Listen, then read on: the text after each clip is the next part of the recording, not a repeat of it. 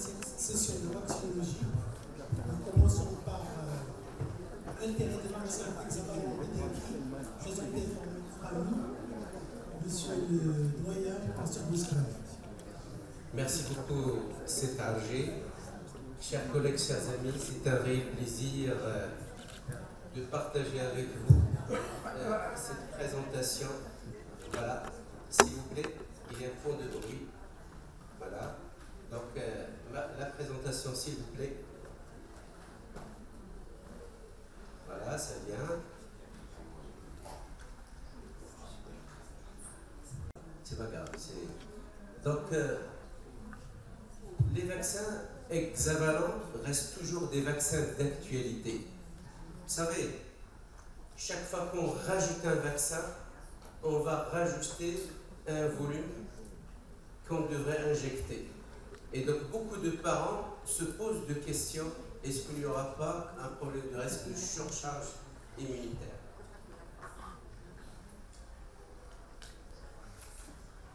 Alors ça n'avance pas.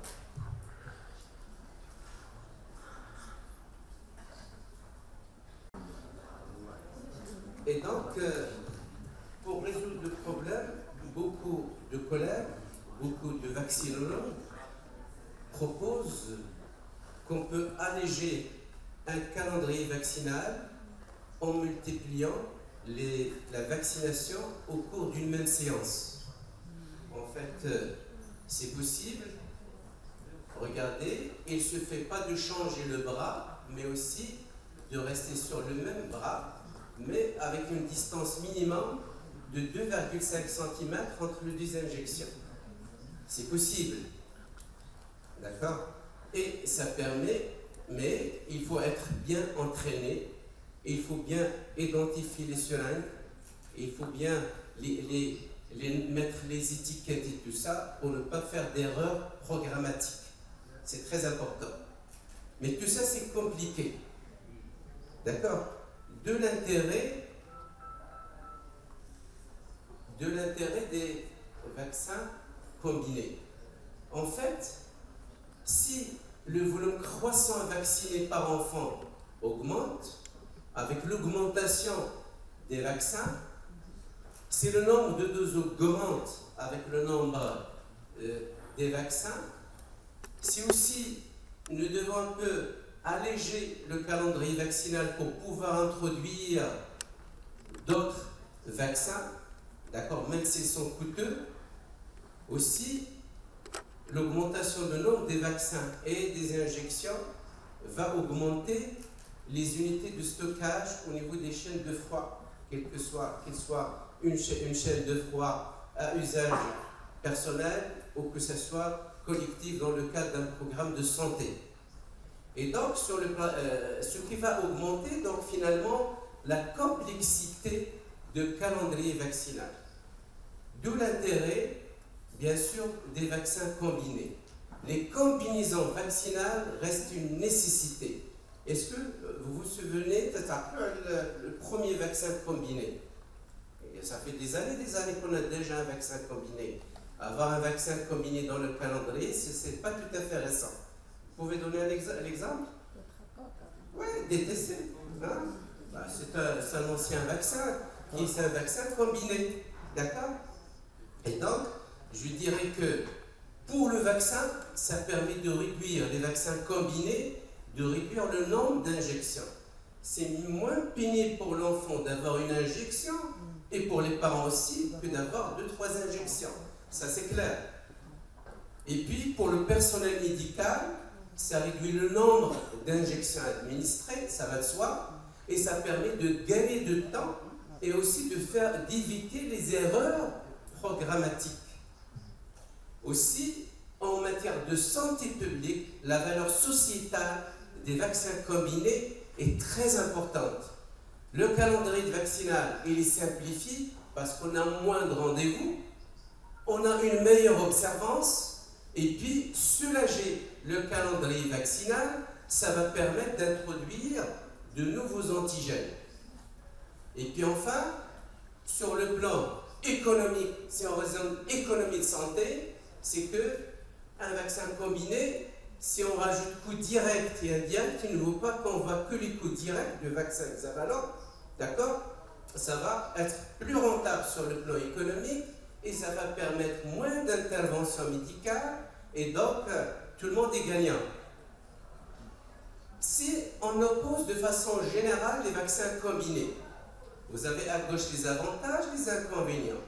Par exemple, les avantages des vaccins combinés, bien sûr, c'est diminuer le nombre d'injections, mais bien sûr, la production d'un vaccin hexavalent, c'est lourde, ça demande beaucoup de temps, et le remboursement moins élevé pour le moment. Augmenter la couverture en temps pour temps, même si on rajoute des doses inutiles d'hépatite B par exemple, ce n'est pas un souci, ce n'est pas un problème. Si on diminue les frais de stockage avec les vaccins combinés, on va diminuer l'administration des vaccins séparés, mais est-ce qu'il y aura potentielle augmentation des effets secondaires? C'est pas sûr. Et puis, bien sûr, comme je l'ai dit, les vaccins combinés vont diminuer le coût des visites de santé supplémentaires et donc vaccin, euh, la valeur économique devrait être discutée, débattue dans un programme de santé publique. Faciliter l'introduction de nouveaux vaccins et recommandations si on se lâche le calendrier avec un vaccin combiné, mais beaucoup de gens disent est-ce qu'il n'y aura pas de confusion concernant la planification? Donc il faut une bonne planification. Aussi, ben, les, les Américains, ils ont déjà d'accord, tester à travers cette enquête la préférence des médecins pour les vaccins combinés. Ben, beaucoup de gens préfèrent aux États-Unis les vaccins combinés parce qu'il y a moins d'injections, d'accord, euh, pour euh, la, possibilité d'achever facilement le calendrier et pour la présentation de vaccins. Les mamans aux États-Unis, les attitudes des parents à l'égard des vaccins combinés il y a beaucoup de discussions concernant les effets secondaires. Beaucoup de gens croient encore si on introduit un vaccin hexavalent avec tant d'antigènes, on va agir sur le système immunitaire. Cette notion de surcharge immunitaire est vraiment dépassée. Et puis, euh, on peut en discuter de beaucoup de choses. Accepter le vaccin combiné et puis éviter les injections multiples. Alors, euh, finalement, j'aime bien cette slide parce qu'il fait euh, la synthèse de la valeur des vaccins combinés en partant des croyances, d'accord, en aboutissant aux évidences. On peut, on n'aura pas le temps de lire notamment, mais ces vaccins combinés, on peut parler d'une valeur sociétale pour les enfants et aussi pour les parents, pour les soignants, les soignants, amélioration de la pratique chaque jour, les tâches, le gain de temps, la chaîne de froid, le stockage et surtout la sécurité d'injection. Et puis de l'autre côté, il y a la valeur de ces vaccins combinés en matière de santé publique et leur valeur économique dont on a bien discuté il y a quelques secondes. Et enfin, cette innovation rajoutée, d'accord, c'est vrai, on peut dire que les vaccins combinés sont des vaccins un peu complexes, qu'il y a des difficultés euh, la démonstration de preuves cliniques de supériorité, mais en tout cas, il y a tant d'avantages que d'inconvénients. Alors, la, vaccination hexavalente. J'ai donné de façon générale une idée sur les vaccins combinés. Ce n'est pas une innovation, mais déjà, nous avons déjà l'exemple DTC qui existait auparavant. Et puis là, on va parler d'un vaccin hexavalente. Alors, quelle place pour cette combinaison? C'est sûr que nous sommes convaincus, et vous avez vu les enquêtes que ça se partout dans le monde, j'ai donné cet exemple d'enquête chez les médecins euh, américains et chez les parents, d'accord, qui sont pour une vaccination hexavalente pour les raisons, les avantages que je viens de citer, d'accord, mais en fait, euh, je viens de dire que la diphtérie, déjà la vaccination combinée avec DT, euh, DT coqueluche, elle est ancienne. D'accord Elle est très ancienne, je pense. D'accord Et puis après, le livre, il s'est posé le problème de livre qui a été inclus par la suite. Et puis après, c'est l'hépatite B. Et après la polio. Et donc, on peut dire que avoir une vaccination hexavalente qui va soulager le calendrier vaccinal, c'est vraiment un grand progrès pour l'humanité en matière de prévention. La vaccination hexavalente est vraiment, euh, ah, euh, je vous rappelle, euh, je pense que c'est élémentaire, diphtérie, tétanos, coqueluche, polio, hépatite B. Et c'est vrai, c'est pas une fabrication qui est facile à faire, surtout pour les vaccins de la coqueluche. La disponibilité des vaccins hexavalents dans le monde est partout, d'accord? Au Maroc, pour le moment, nous avons privé deux vaccins hexavalents et nous avons en santé publique un vaccin pentavalent. Et la réalité, c'est que nous avons discuté plusieurs fois qu'il y a des soucis avec la vaccination anti-hémophilus, par exemple. Ah, l'absence de rappel, nous suivons le schéma 3.0, et l'absence de rappel dans le schéma de santé publique qui vaccine plus de 97%, nous n'avons pas un rappel tardif. Or, vous savez très bien que le vaccin conjugué, le rappel est fondamental parce que c'est celui qui va diminuer le portage. Exemple pour le vaccin conjugué contre le meningo, contre le pneumo et aussi contre l'hémophilus. Et je pense peut-être avoir un vaccin hexavalent, ça permet un petit peu de résoudre, d'apporter une solution à ce problème au Maroc, si en, en tout cas, si le comité technique de vaccination décide un petit peu sur des données qui, sont déjà existantes. D'accord? En, tout cas, nous avons démontré à Marrakech que l'hémophilus euh, petit b et aussi les autres sont en train d'apparaître et même à un âge un peu plus avancé. Alors, euh, les caractéristiques et la composition de trois vaccins hexavalents disponibles qui existent à travers le monde, il y a trois vaccins. Et beaucoup de gens essaient un petit peu de chercher les petites différences entre les vaccins. Peut-être euh, les gens, chaque vaccin, à travers ses essais cliniques, il essaie de montrer qu'il a une supériorité concernant la mémoire euh, contre l'hépatite B, parfois en composition vaccin anti-coqueluche, mais je pense que les trois vaccins restent très valables. Alors, est-ce qu'il y a finalement les antigènes qui sont dans ces vaccins hexavalents Est-ce qu'il y a une synergie ou une interférence? Je pense que c'est un débat qui est dépassé maintenant parce qu'à un certain moment, début des années, euh, fin des années 90, début des années 2000, les gens disaient est-ce que l'immunogénicité entraînée par le vaccin contre l'hémophilus, est-ce qu'il a une bonne immunogénicité?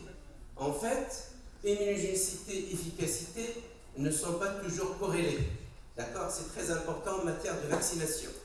Et donc, que ce soit pour l'hépatite B, que pour la coqueluche, que pour, euh, l'hémophilus, les vaccins hexavalents, ils sont aussi immunogènes, aussi efficaces, d'accord, que les autres vaccins, d'accord, euh, hépatite B, euh, hémophilus et coqueluche. Alors, je pense que nous avons assez de données, pour ne pas être trop long, assez de données qui démontrent la supériorité, la bonne efficacité des vaccins, euh, des vaccins hexavalents. Avant, les gens s'inquiétaient pour la réponse même, euh, immunologique contre l'hépatite B. Et bien, comme c'est ce travail allemand, elle montre très bien, malheureusement le laser ne marche pas tellement, d'accord, que euh, la moyenne géométrique, d'accord, suscitée, d'accord, par euh, l'antigène qui est dans l'hexavalent et, entraîne une bonne réponse immunologique dans la petite enfance après la primo-vaccination et le rappel. Les Italiens, ils ont bien montré aussi que la mémoire immunitaire après 5 ans est très importante, que ce soit pour l'antigène d'hépatite B inclus dans l'hexavalent, que ce soit avec les vaccins monovalents contre l'hépatite B. Ce travail est très intéressant en Thaïlande. Il a bien montré en rouge, c'est un vaccin hexavalent, et ce qui est en bleu et en vert sont deux vaccins pentavalents. le système public, le système privé. Ben, ils ont bien montré au niveau de la réponse que la moyenne géométrique des anticorps avec l'hexa est largement supérieur à celui des deux Panta. Aussi, ils ont bien montré spécifiquement pour l'hépatite B que la réponse immunologique et l'importance des anticorps étaient aussi plus importants avec l'EXA qu'avec le Panta. Je passe aussi sur ce travail qui a été fait en Afrique du Sud et en Amérique latine. ils ont travaillé sur la vaccination. Ils ont essayé de tester les anticorps anticoqueluches d'accord, en âge préscolaire après une primo-vaccination chez le nourrisson et un rappel vaccinal avec l'EXA. Ils ont bien montré que la réponse euh, contre la coqueluche était très bonne il y avait des anticorps avec un niveau assez élevé pour assurer une protection contre la coqueluche. Vous savez, à un certain moment, il y avait un grand débat entre vaccin coqueluche germantier et vaccin cellulaire. Je pense que c'est un débat pour le moment, il est dépassé parce qu'il y a assez de travaux qui vont dans les deux sens. Et donc les deux vaccins sont efficaces. Je vous rappelle qu'en matière de santé publique chez nous, le, vaccin contre la coqueluche, est anti. D'accord? Et en libéral, nos collègues dans leur cabinet, ils vaccinent avec un vaccin hexavalent qui contient un vaccin acellulaire. Donc, il y a assez de, travaux dans les deux sens qui, euh, d'accord? Donc, il n'y a pas de souci de ce côté-là. Le débat était initial lorsqu'on commençait à parler des vaccins acellulaires. Et donc, euh, là, on va analyser un peu les impacts sur le plan socio-économique. D'accord? C'est très important de penser au sous. Les Anglais, vous savez, les Anglais, ils ont une école de santé publique qui a été assez solide. Leurs travaux sont très solides sur le plan santé publique, d'une rigueur très importante.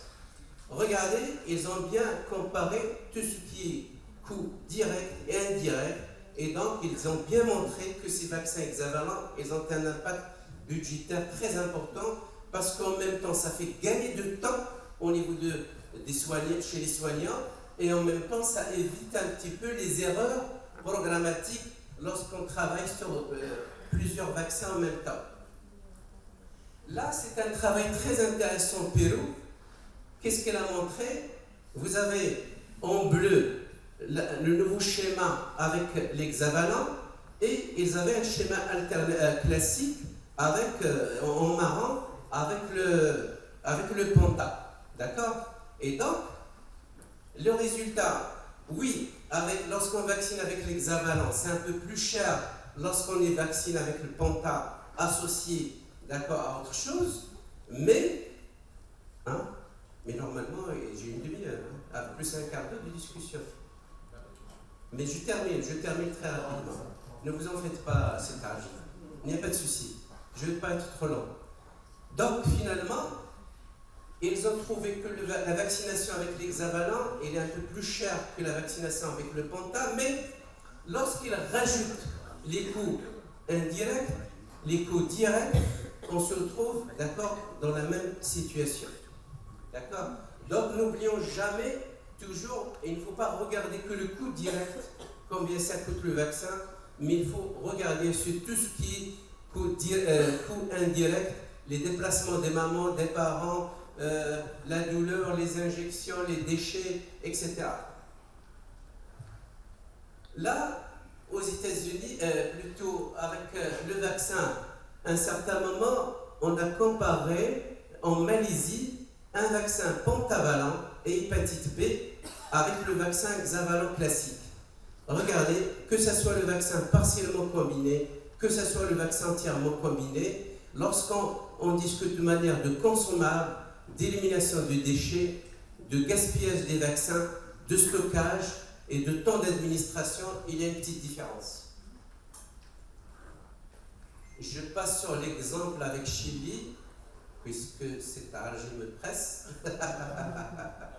Alors, là aussi, les Italiens, ils ont fait un joli travail concernant les, euh, les préférences des professionnels de santé concernant les vaccins pédiatriques hexavalents.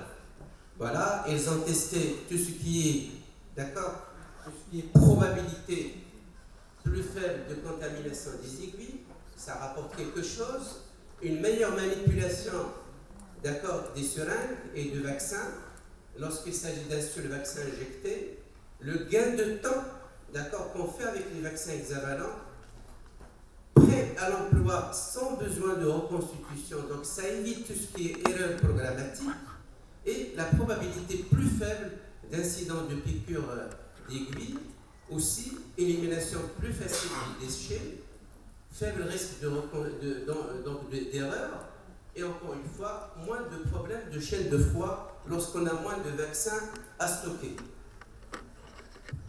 Ben, je passe très rapidement sur euh, la sécurité. Je pense que maintenant, de plus, les travaux sont très disponibles concernant la vaccination hexavalente chez le nourrisson. Ça ne pose pas de souci. Et maintenant, on commence à préoccuper. Il y a de plus en plus de travaux d'exact qui sortent chez les prématurés. Vous savez, chez le grand prématuré, on craint toujours ce risque d'apnée, toujours de troubles respiratoires, d'accord, en, euh, en hospitalisation. C'est pourquoi on conseille de vacciner avant la sortie. D'accord Que le malade, il est sous le.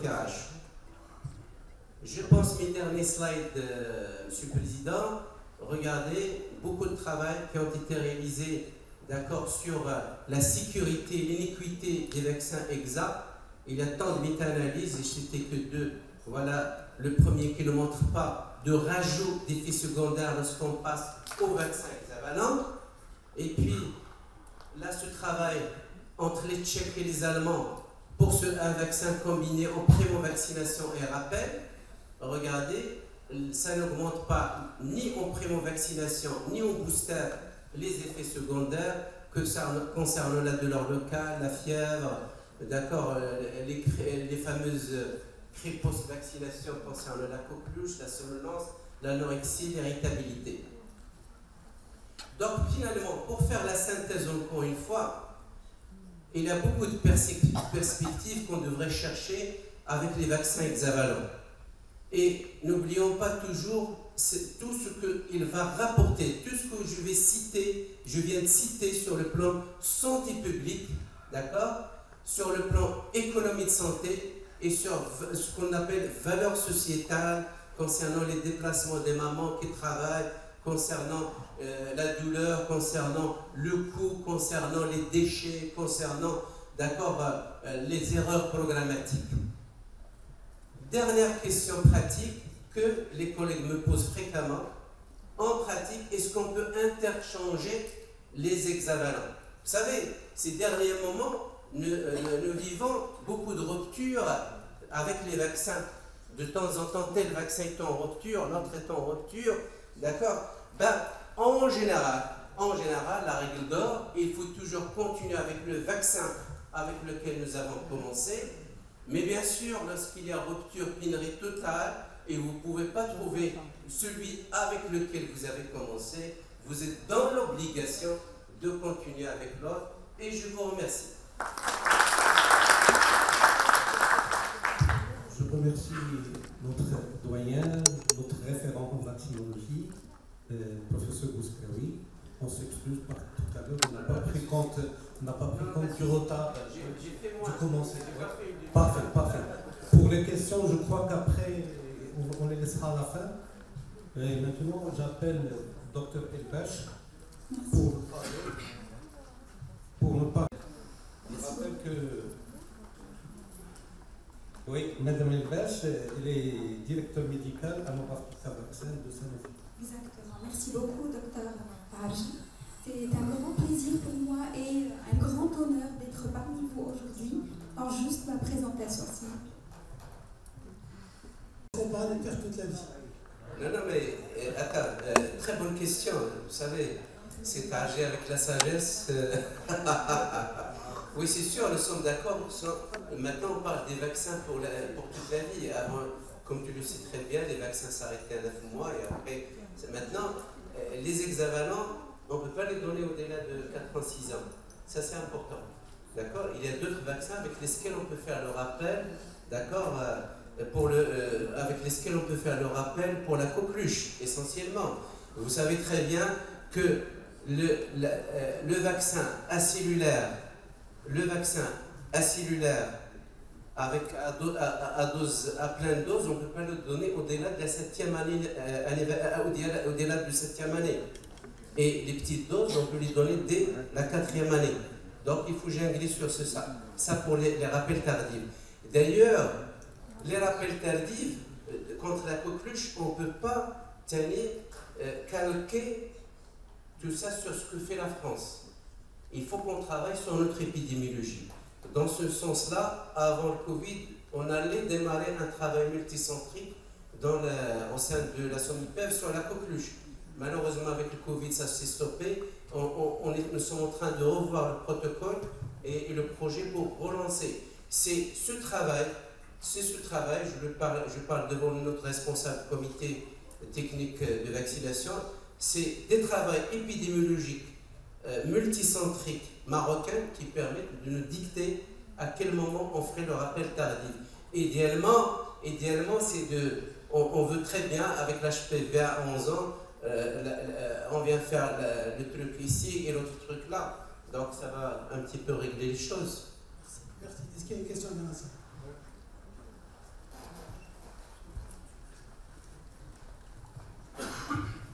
Je voudrais juste parler, euh, vaccins hexavalents, il n'y a pas de problème. Le seul, euh, il y a deux, deux volets. Au niveau des privés, on n'a pas de problème, sauf que euh, les familles viennent avec leurs enfants avec le Covid, donc ils viennent en retard, et donc ils n'ont pas fait le vaccin dans le calendrier prévu. Ils arrivent en retard, que faut-il faire? Ah ben, Deuxièmement, euh, je te réponds à cette question, s'il te plaît. Ben, c'est vrai que la Covid a chamboulé beaucoup de euh, certains calendriers vaccinés, certains enfants contaminés. Mais dès l'enfant n'a plus de symptômes, il faut continuer la vaccination là où vous êtes arrêté. D'accord Il faut continuer. Il ne faut jamais reprendre le schéma zéro. C'est très important. Voilà pour la première question. La deuxième, c'est qu'il y a des, des, mamans qui arrivent avec leur enfant malade. Ils amènent avec eux le vaccin. Ils veulent faire le vaccin. Qu'est-ce qu'il faut faire Est-ce qu'il faut le faire ou sinon dans quel délai Alors, Parce qu'il arrive là, parce qu'on ne pas payer de consultation. Message clair. Pendant non, non, cadre, non, non, la question, la meilleure attention à la chaîne de froid du vaccin. Faites attention. Est-ce que vous croyez que c'est le mat? S'il dit à la maman, à Marrakech, à 39-40 degrés de ramener le, vaccin, est-ce que vous croyez que le vaccin, on est sûr qu'il n'y aura pas de souci D'accord? Donc, la chaîne de froid, c'est un message pour tout le monde. La chaîne de froid est très importante. Je pense qu'il faut qu'on conseille les parents, d'accord, et qu'il y, a il y a une il y a toute hein, une, logistique dans la chaîne de froid à respecter. D'accord? La première des choses. Un enfant malade, il faut éviter de le vacciner. C'est vrai, une petite fièvre, qu'il y a certains gens qui lui disent Bon, c'est pas grave, on peut le vacciner. Mais faites attention. Après une vaccination, tout ce qui va arriver après une vaccination, les parents vont le mettre sur le compte de la vaccination. Ma fille m'a dit que le de la loi de hasard. Quand la photo que je montre toujours dans Frobhar, c'est Kharj dauphin ou Kharj dauphin ou Kharj la vache. Donc les parents, euh, ils mélangent tout. Donc il te dit, c'est le vaccin qui a tout fait. Donc, évitez de vacciner un enfant malade. Prenez une semaine, quelques jours, que l'enfant le devient impératif euh, qu'il se rétablit et surtout, surtout, inculquer les bonnes manières aux parents qu'il y a une chaîne de froid, que le vaccin cette chaîne de froid devrait être respectée pour le vaccin. Ça, c'est le côté privé. Le côté public, euh, nous, on reçoit des patients, je travaille en privé, ils nous disent qu'ils sont allés faire leur euh, vaccin de rappel de 5 ans et ils le refusent parce que c'est trop tard. Écoutez. Ils leur disent c'est trop tard, vous avez fait maintenant il a 5 ans et un mois, 5 ans et demi, c'est trop tard. Alors, et ils arrivent avec une angoisse. Euh, alors écoutez, euh, vous posez une bonne question. Normalement, un enfant dans un santé devrait être examiné avant qu'il soit vacciné. Or, vous savez, euh, le, circuit, comment ça se passe dans les centres de santé. Prochainement, nous sommes en train de préparer avec, euh, il est, il c'est parce qu'il est là, notre responsable de programme d'immunisation, M. Benazuz, ah, il n'est pas là. Nous sommes en train d'organiser des formations, d'accord? Les gens, ils ont besoin de formation. De leur parler de ça. Et on, va parler, y compris la vaccination du prématuré, y compris la vaccination le rattrapage, parce que deux, ils sont figés. Dès que tu fous un mois, sont des infirmiers, tu que ça fait. D'accord? Il faut le former dans ce sens-là. Et deuxième, deuxième message qu'il faut faire passer, il faut dire, il faut éclairer les gens comme quoi il y a d'autres vaccins. S'ils peuvent faire l'hépatite A, pourquoi pas? S'ils peuvent faire d'autres vaccins qui ne sont pas dans le PNI, il faut donner l'information aux parents pour qu'ils sachent qu'il y a d'autres vaccins. Et je pense que nous sommes là, il y a beaucoup de parents qui vont dans les deux sens. Public, privé, privé, public. Mais actuellement, après la crise Covid, beaucoup de gens se sont appauvris. Il y a beaucoup de gens, d'ailleurs vous l'avez constaté, il y a moins de, euh, il y a plus euh, beaucoup il y a moins de vaccination libérale. Et donc je pense qu'il faut éduquer les gens dans ce sens-là. Et je pense que public-privé sont là pour euh, travailler ensemble. D'accord Merci. J'ai une, une, réflexion. Merci pour l'exposé très intéressant. la première chose, c'est que je, réponds un peu, on reçoit tous dans le privé des gens, on va dire entre guillemets de mauvaise foi, qui veulent, qui ramènent le gamin avec 39 de fièvre et qui cherchent le contrôle. Bon, comme ça, on vit ça, on va dire toutes les semaines. Il y a aussi, de l'autre côté, des enfants qui ont juste une rhinite. Je pense pour une rhinite simple, pour un enfant qui va bien, qui va en crèche qui a le nez qui coule, ça on peut vacciner sans aucun problème. Un enfant qui a 38, 5, 39, ça on ne touche pas, ça c'est clair. On ne rentre pas dans ce, Ma réflexion est, est contraire par rapport à l'hexavalon et en fait, je voudrais poser la question pour des enfants qui ont reçu le RR par exemple au centre de santé et qu'on a besoin de faire les oreillons. Et donc on n'a pas de vaccin d'oreillons tout seul. Et il y a des vaccins pour lesquels il y a des mamans qui n'ont pas la rubéole et qu'on veut les conseiller parce qu'ils étaient rubéole négatifs pendant la grossesse. Il n'y a pas de vaccin pour rubéole. Deuxième chose, c'est juste une réflexion. Là, rapidement, laisse je me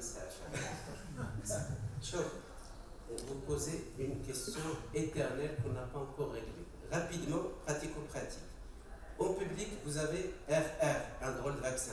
Rebieux, je dis un drôle parce qu'il n'y a pas les, il n'y a pas les rougeole.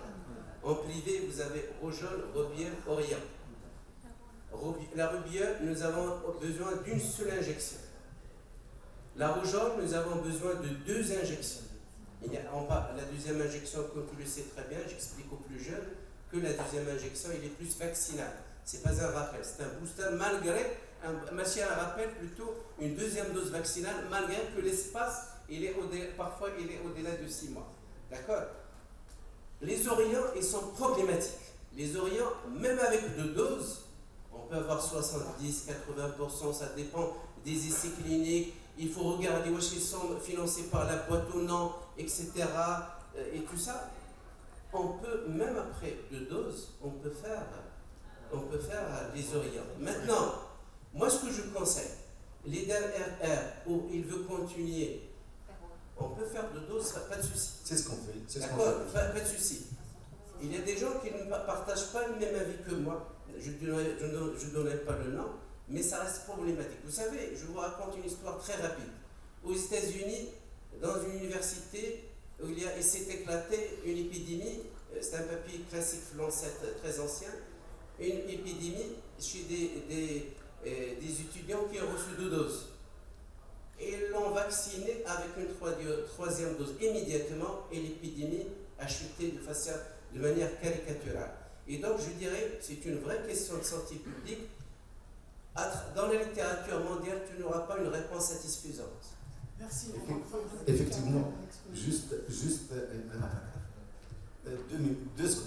C'est pour la douleur de la vaccination. Je pense que nous, pédiatres, nous devrons nous mobiliser pour avoir des là ou avoir d'autres possibilités pour permettre que la vaccination se passe dans les meilleures conditions. Merci. Lutter contre la douleur, il y a les petits moyens, il y a aussi l'allaitement, il y a aussi euh, crème EMLA, mais pas sauf le BCG. EMLA, il faut l'éviter pour le BCG.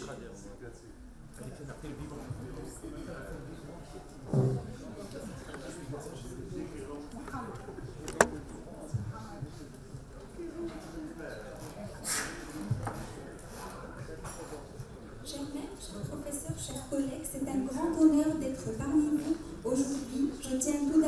remercier professeur Bouskraoui, docteur Afif, la CPP et les organisateurs pour cet événement scientifique grandiose.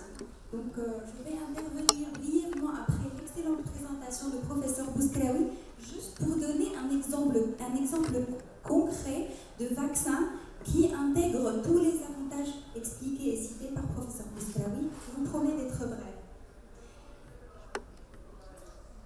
Je passerai en revue très rapidement la majorité des, avantages cités par professeur Bouslaoui. Donc quand on dit hexavalent, ou vaccin combiné, c'est certainement moins de visites, moins de taux d'absentéisme, mais aussi moins d'injections, moins de demandes en termes de moins de gestion de tout ce qui est logistique, chaîne du froid, tout ce qui est fournisseur, tout ce qui est stockage des vaccins et aussi gestion des, conditions de, stockage, comme l'a très bien expliqué professeur Bouskraoui. Également, l'augmentation, ça les hexavalents et les vaccins combinés en général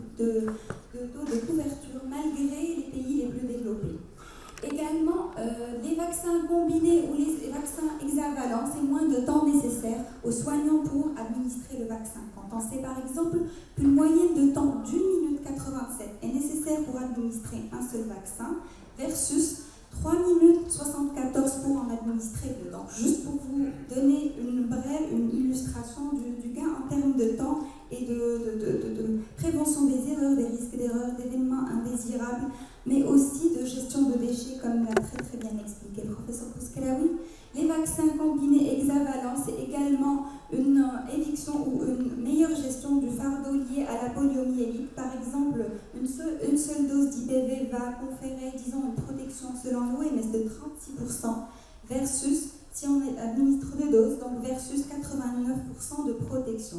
Et comme l'a très bien expliqué professeur Pouskalaoui, quand on va réduire le nombre de doses de vaccins, c'est un soulagement et un vaccin, un calendrier de vaccination plus allégé qui permettra d'adopter ou d'intégrer de nouveaux vaccins.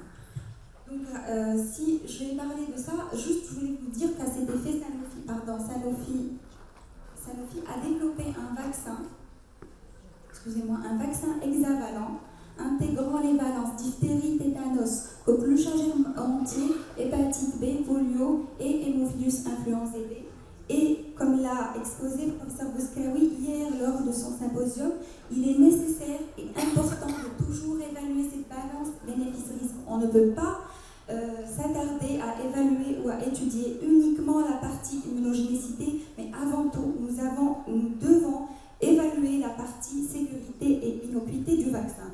Donc je vais vous présenter une étude qui est disponible en ligne depuis janvier 2022 et donc je vais juste rapidement passer euh, en revue cette étude. Deux mots sur le design de l'étude. Donc, en gros, c'est une étude, évaluer ou à tester la non-infériorité de ce vaccin hexavalent versus le standard of care qui est Penta plus IPV.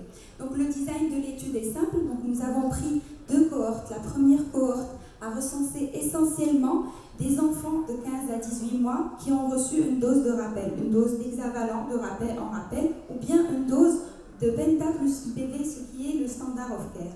La deuxième cohorte comporte essentiellement des nourrissants qui, eux, ont reçu une série de primo-vaccinations de trois doses, soit par le hexavalent, soit par le Penta plus IPV. En même temps, nous avons saisi cette opportunité pour évaluer, étudier la consistance des lots. Bien sûr, le but ultime était d'étudier et de tester la non-infériorité de cet hexavalent versus le Penta plus IPV. Les résultats sont les suivants, en commençant tout d'abord par la sécurité qui est le, principal, le premier objectif qui a été évalué.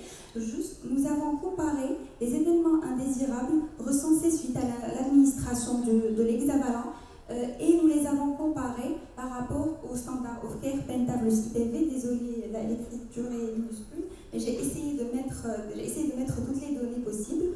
Donc juste euh, après comparaison, nous voyons très très clairement qu'il y a d'événements indésirables entre l'hexavalent et le pentaplus IPV. Cet hexavalent administré soit en, en primo-vaccination ou en rappel a démontré une bonne tolérance sans différence cliniquement significative entre les deux groupes, Penta ou Exa, et la plupart des événements indésirables étaient légers et se sont spontanément résolus. Pour ce qui est de l'immunogénécité, je vous présente les données d'immunogénécité par rapport à la première cohorte qui, euh, comme je vous l'ai dit, euh, inclut surtout les enfants de 15 à 18 mois. Et donc, euh, comme vous le voyez, pour les taux de séroconversion, pour on a étudié les taux de séroconversion pour la coqueluche et les taux de séroprotection pour la diphtérie, tétanos, HIB, hépatite B et polio. Et vous voyez clairement qu'il n'y a pas de différence entre les deux vaccins, que ce soit l'EXA ou le Penta. C'est un taux de séroprotection de 100% pour tous ces antigènes-là. Pour ce qui est des antigènes pertussiques, pour la toxine les hémagglutinides filamenteuses, la pertactine et les protéines fimbriales, donc on n'a pas eu moins de 86,7% de taux de séroconversion, ce qui témoigne d'une bonne euh, on passe à la deuxième cohorte, qui est, plus, qui est constituée essentiellement de nourrissons qui ont reçu les, séries de primo-vaccination de trois doses, la même chose pour tout ce qui est antigène diphtérique, tétanique, hépatite B, influenzae, B ou poliomyélite, de, les trois types du poliovirus, on a cette séroprotection de 100%. Pour ce qui est par contre euh, de, la, en termes de, relative à la composante pertussive, nous voyons qu'il y a une légère différence mais qui n'est pas significative. À chaque fois, c'est un des vaccins qui l'emporte, mais avec une différence vraiment minime. Nous avons l'hexavalent légèrement plus immunogène que, le penta pour la toxine pertussive et pour les hémagglutinides filamenteuses. Par contre, pour la pertactine, c'est le, le, pentavalent qui est légèrement plus immunogène. Pour les protéines fibriales, c'est la même chose. Donc il n'y a pas vraiment de différence significative. Je voulais juste partager avec vous le détail des données d'immunogénécité. La, la consistance des lots, donc après évaluation par l'étude, on peut voir clairement qu'il n'y a pas de différence, qu'il y a cette homogénéité des lots. Et pour finir, donc euh, les études cliniques continuent. On a également, euh, c'est une première mondiale, pour la première fois, on a la publication des données les plus récentes, des études les plus récentes. Nous avons également, qui sont postées juste à côté, je vous invite à venir les voir. Donc nous avons ce vaccin hexavalent a été aussi étudié en co-administration chez les tout petits avec le, le rotavirus et le pneumo. Et également, nous avons ce même vaccin qui a été étudié en co-administration avec le ROR chez les enfants. Donc, je vous invite à aller voir les posters de, bons résultats de bienséance et de tolérance. Et je vous remercie de votre attention. Merci. Merci. sur le temps. Oui. C'est pas vous, c'est. Il y a eu un retard. Euh, je crois pour euh, donner le temps, il y a une question, une seule question. cette séance Discute de l'hexavalent, il, est aussi commode parce qu'il est très rempli.